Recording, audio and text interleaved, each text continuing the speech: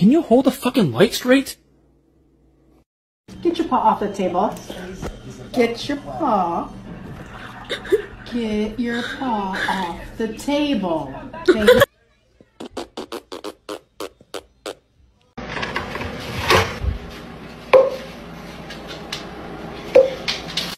The top is not all the way on. That was more than halfway full. Jack, try to walk. Come on, let's go.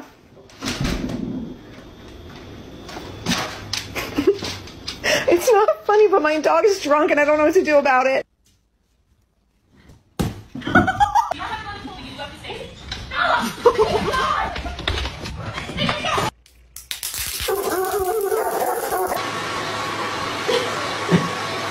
Kevin, why is the neighbor's golden retriever pregnant?